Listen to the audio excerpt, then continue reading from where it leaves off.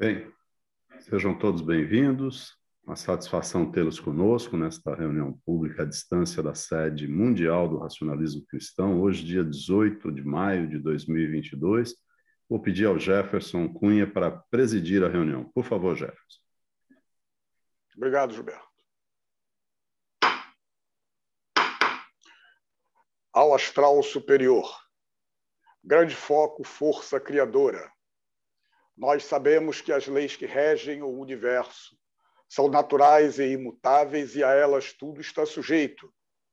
Sabemos também que é pelo estudo, raciocínio e crescimento, derivado da luta contra os maus hábitos e as imperfeições, que o espírito se esclarece e alcança maior evolução. Certos do que nos cabe fazer e pondo em ação o nosso livre-arbítrio para o bem, irradiamos pensamentos aos espíritos superiores, para que eles nos envolvam na sua luz e fluidos, fortificando-nos para o cumprimento dos nossos deveres. Está aberta a reunião pública à distância da sede mundial do racionalismo cristão. Ao nosso presidente astral Humberto Rodrigues, grande foco Vida do Universo, Aqui estamos a irradiar pensamentos às forças superiores para que a luz se faça em nosso espírito e tenhamos consciência de nossos erros, a fim de evitá-los e nos fortalecer para praticar o bem. Grande foco vida do universo. Aqui estamos a irradiar pensamentos às forças superiores para que a luz se faça em nosso espírito e tenhamos consciência de nossos erros, a fim de evitá-los e nos fortalecer para praticar o bem. Grande foco vida do universo. Aqui estamos a irradiar pensamentos às forças superiores para que a luz se faça em nosso espírito e tenhamos consciência de nossos erros, a fim de evitá-los e nos fortalecer para praticar o bem. Grande foco vida do universo. Aqui estamos a irradiar pensamentos às forças superiores para que a luz se faça em nosso espírito e tenhamos consciência de nossos erros, a fim de evitá-los e nos fortalecer para praticar o bem. Grande foco vida do universo. Aqui estamos a irradiar pensamentos às forças superiores para que a luz se faça em nosso espírito e tenhamos consciência de nossos erros, a fim de evitá-los e nos fortalecer para praticar o bem. Grande foco vida do universo. Aqui estamos a irradiar pensamentos às forças superiores para que a luz se faça em nosso espírito e tenhamos consciência de nossos erros, a fim de evitá-los e nos fortalecer para praticar o bem. Grande foco vida do universo. Aqui estamos a irradiar pensamentos às forças superiores para que a luz se faça em nosso espírito e tenhamos consciência de nossos erros, a fim de evitá-los e nos fortalecer para praticar o bem. Grande foco vida do universo. Aqui estamos a irradiar pensamentos às forças superiores para que a luz se faça em nosso espírito e tenhamos consciência de nossos erros, a fim de evitá-los e nos fortalecer para praticar o bem. grande foco vida do universo. Aqui estamos a irradiar pensamentos às forças superiores para que a luz se faça em nosso espírito e tenhamos consciência de nossos erros, a fim de evitá-los e nos fortalecer para praticar o bem. Uma boa noite a todos os presentes, sejam muito bem-vindos à nossa reunião pública à distância da sede mundial do racionalismo cristão. Como de hábito, vamos seguir o um modelo de apresentação de reflexos que são preparados através dos kits que são organizados pela sede mundial.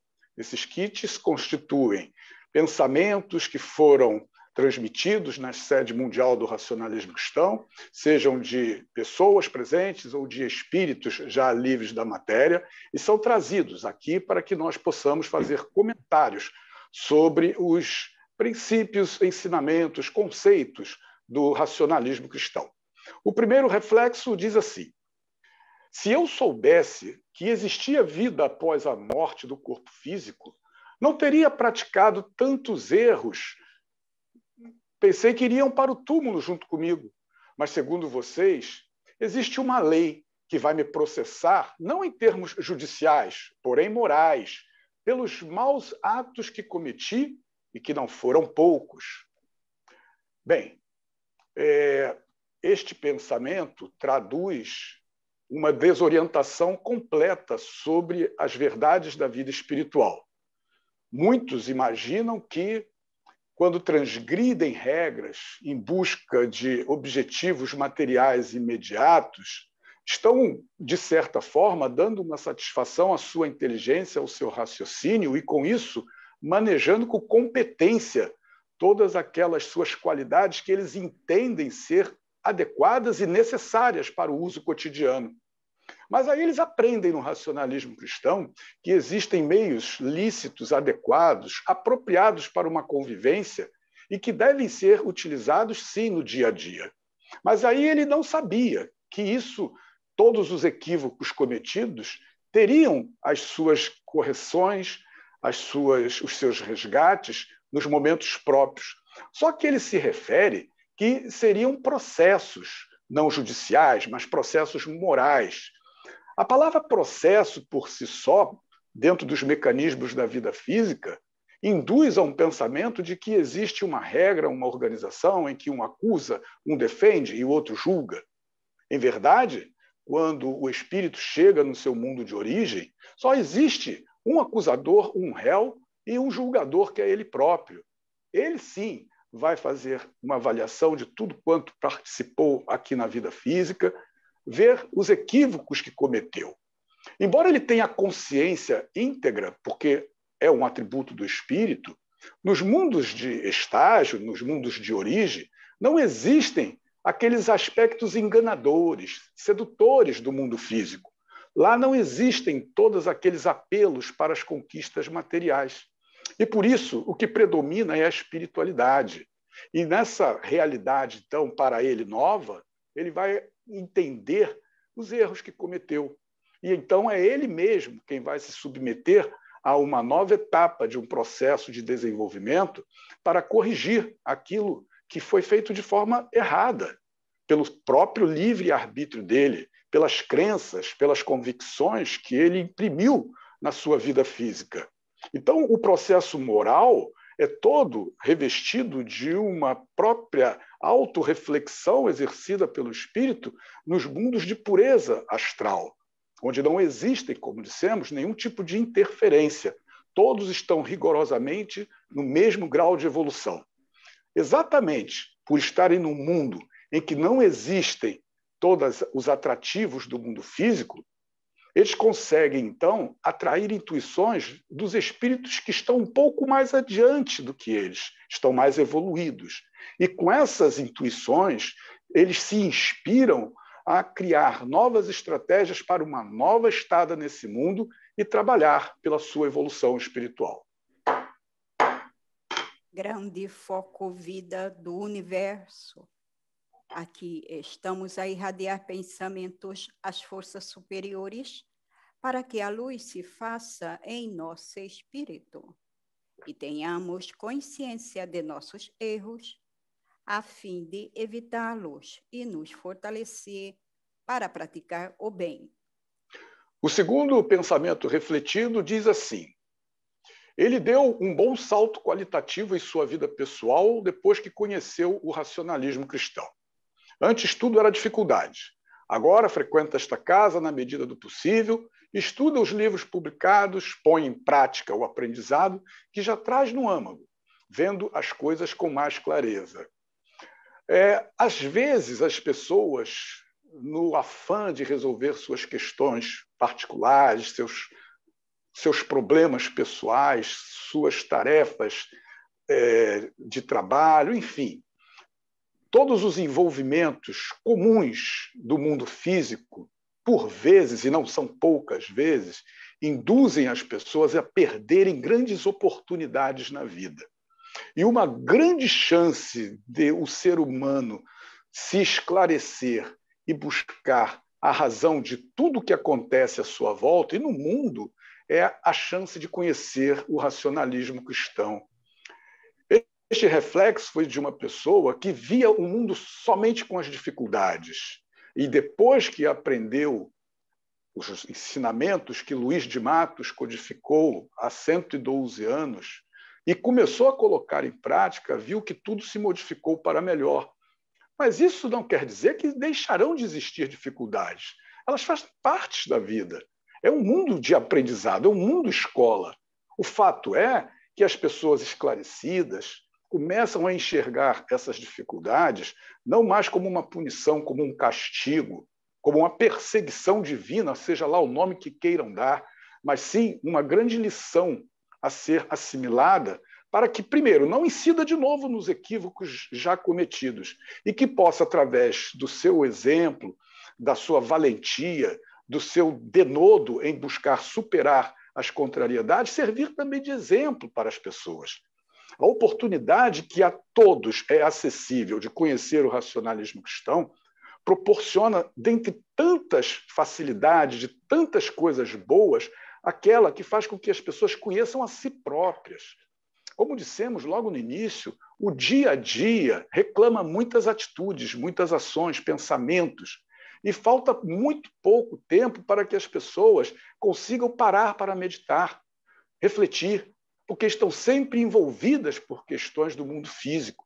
Quem consegue entender que na sua aura serena, tranquila, consegue conectar-se com outras que estão no mesmo patamar de tranquilidade, que também desfrutam da mesma serenidade, que, portanto, reforça o seu estado de alma, e que também sabe que quando se perturba, quando se preocupa, quando se aborrece, a sua aura, aquela que tem uma habitualidade mais presente, perde força para dar lugar a uma aura que está repleta de insegurança, de incerteza, de dúvidas, medo, egoísmos, e vai se aliar a quê? Vai se afinizar com quê? Com pensamentos idênticos. Então, faz todo sentido quem estuda o racionalismo cristão entender que isso, de certa forma, é regular de um processo no mundo de aprendizado. Porque quando ele se perturba pela preocupação, ele vai buscar o quê? Tentar voltar àquela serenidade, aquele equilíbrio. E por que, que isso não acontece? Exatamente porque ele está numa situação em que luta com o seu a sua parte serena, equilibrada, com aquela parte que está lhe perturbando. Essa luta causa dores, causa sofrimentos, e ele entende que isso é regular, que isso faz parte da vida aqui na Terra. Como bem disse Luiz de Matos, lendo o capítulo Força e Matéria e o capítulo Aura, os amigos entenderão com total segurança o que queremos dizer. É que a força atua onde tem resistência. Se ele luta para voltar à serenidade e tem a resistência daquelas perturbações, isso causa sofrimento, dores, mas faz parte. A dor não é totalmente contrária ao prazer, ela tem a sua estrada própria, ela tem o seu caminhar individual. Quem aprende essas realidades, essas verdades, encara as dificuldades da vida com muito mais segurança, com muito mais confiança e, portanto, se torna mais feliz. Grande foco vida do universo. Aqui estamos a irradiar pensamentos às forças superiores para que a luz se faça em nosso espírito e tenhamos consciência de nossos erros, a fim de evitá-los e nos fortalecer para praticar o bem. O terceiro reflexo diz que ela vive um verdadeiro drama de consciência. Tem bom emprego e dois filhos pequenos que ficam entregues a babá durante o dia, a semana inteira. O marido pode sustentar a casa sem que ela precise de trabalhar fora mas está dividida e se cobra para decidir entre a educação dos filhos e o emprego de que tanto gosta. Não sabe exatamente o que tem que fazer. E nós vamos dizer o seguinte: todos nós, indistintamente, precisaremos, em algum momento da nossa vida aqui no mundo físico, externar o sentimento de carinho, de amor, de afeto que trazemos em nós, porque é uma qualidade própria da alma. Felizes daqueles que conseguem exteriorizar este sentimento. A mãe terá a possibilidade de estar próxima aos filhos, de estar transmitindo segurança, principalmente, educação, carinho, amizade, que eles precisam experimentar no calor envolvente de uma mãe. A babá cumpre metas, é remunerada para isso. Algumas até vão um pouco além das suas prestações regulares de trabalho. Conseguem também transmitir carinho. Mas o aconchego, o amor de mãe, aquela dedicação é própria do espírito de quem projetou aquela situação. Então vejam, existem dois campos fluídicos a serem é, conectados. O primeiro, em que uma mãe vibra pela educação, pelo afeto, pela formação de um ser humano, que vai preparar sua personalidade para enfrentar cenários diferentes. Mas ele tem uma bagagem? Sim, aquela criança tem uma bagagem espiritual, mas formada em outros cenários, em outros momentos do seu desenvolvimento. Agora, conta e muito com os ensinamentos da mãe para que possa, então, de novo, formando uma personalidade própria para os novos cenários, os novos ambientes, se desenvolver. E o outro campo de conexão, o trabalho de que tanto gosta. As pessoas, quando atuam com esmero, com dedicação, com competência, vibram com campos relacionados a todas essas atividades científicas, culturais, artísticas, industriais, técnicas, porque é um trabalho. O fato é que, nesses campos relacionados ao trabalho, aqueles pensamentos ali já são pensamentos treinados, preparados, que partiram de seres que já trazem em si um objetivo e que também emanaram pensamentos daquela mesma linha que se conectam com o da mãe, que também quer trabalhar e ser feliz na realização dos seus trabalhos. Porém, ela precisa também lembrar que existe o campo dos pensamentos vibracionais em que vão ser conectados o quê? Amor, afeto, dedicação, carinho, coisas que somente a mãe poderá transmitir. Disso tudo resulta, claro, que o resultado é meio que óbvio. O livre-arbítrio será sempre exercitado e todos os amigos já perceberam quais são as melhores escolhas a serem seguidas. Grande foco vida do universo Aqui estamos a irradiar pensamentos às forças superiores para que a luz se faça em nosso espírito e tenhamos consciência de nossos erros, a fim de evitá-los e nos fortalecer para praticar o bem. Agora nós vamos ouvir uma orientação do presidente astral do racionalismo cristão, Humberto Rodrigues.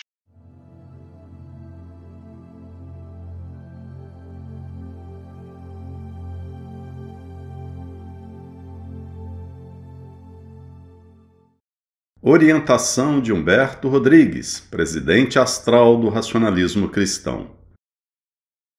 Ao contemplarmos a história da humanidade, constatamos notável progresso material decorrente do desenvolvimento das diversas áreas do conhecimento humano, como o das artes cênicas e musicais, das ciências sociais e humanas, da tecnologia da informação, bem assim dos significativos avanços da medicina que propiciam melhores condições de vida e maior longevidade às pessoas, ainda que se observem muitas desavenças entre elas. O grande avanço material até agora conseguido resulta do progressivo desenvolvimento espiritual da humanidade. Espíritos de elevado nível de evolução vêm a este planeta de forma ordenada e sistemática. A imensa capacidade de concepção que já possuem e as intuições que recebem dos campos astrais superiores proporcionam as melhorias materiais a que nos referimos. Ainda que a humanidade tenha muito que percorrer em termos de evolução espiritual, todo o progresso material hoje observado na Terra é consequência da manipulação de matéria densa pelos espíritos que transitam no planeta, inclusive a do corpo humano, no qual assumem e a que dão vida, através do corpo fluídico, a fim de aprimorar seus atributos e suas faculdades e evitar os erros cometidos em existências passadas. É fato que a verdadeira vida é a espiritual. Logo, a chamada e efêmera vida material deve ser conduzida com pensamento bem vibrado, adequado uso do livre-arbítrio e emprego correto dos atributos espirituais. Todos têm deveres a cumprir, trabalhos a realizar, mas sem jamais esquecer que o lado material do viver terreno é o meio de que dispõe o espírito para evoluir neste planeta. O núcleo familiar é onde tudo principia, pois é nele que os espíritos se encontram em corpo humano. Então, todos os esforços devem ser feitos para manter a união, o diálogo e o respeito entre os seus componentes. Os filhos devem ser educados pelos pais à luz da espiritualidade e dos bons exemplos desde cedo. Os acontecimentos, pequenos que sejam no próprio lar, na escola ou no convívio com os coleguinhas, devem ser aproveitados pelos pais na educação dos filhos, ministrando-lhes lições úteis que as crianças e os jovens irão utilizar quando forem adultos. Os filhos não necessitam estar o tempo todo ao lado dos pais para que lhes satisfaçam a vontade sem limites. Eles precisam de pais que lhes ensinem a ser educados, amáveis e tolerantes. Noções de honradez, honestidade, coragem e justiça muito facilitarão suas vidas no futuro. Esclareçam-se espiritualmente, disciplinem o viver, eduquem os pensamentos, dominem as emoções, apliquem a força de vontade para resistir aos vícios e aos desejos intemperados.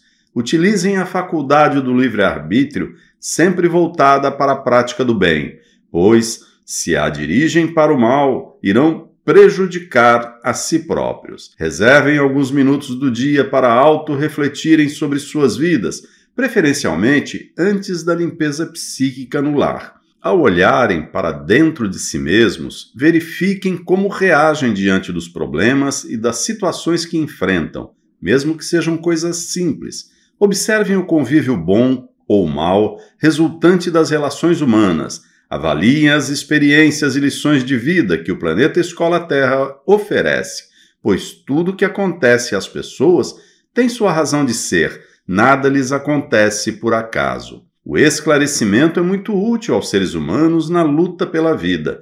Façam a limpeza psíquica em seus lares nos horários recomendados, uma prática que beneficia a todos, inclusive crianças, para que tenham viver mais ameno, com saúde, paz e prosperidade, os componentes da felicidade que é possível conquistar neste mundo de escolaridade, aproveitando bem a existência física do espírito na Terra. Ao chegarem aos seus campos de estágio, irão avaliar o nível espiritual em que estão, o que fizeram de positivo e o que necessitam refazer em novas existências, se for o caso.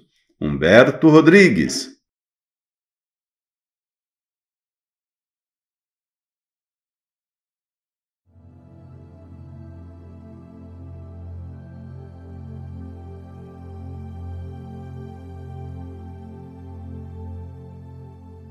Agradecer a presença de todos, uma alegria estarmos aqui com vocês e convidá-los para a nossa próxima reunião pública presencial da sede mundial, sexta-feira, às 19 horas e 30 minutos. E a nossa reunião pública à distância na próxima quarta-feira. Grande abraço a todos, uma boa noite, um bom descanso e até a volta.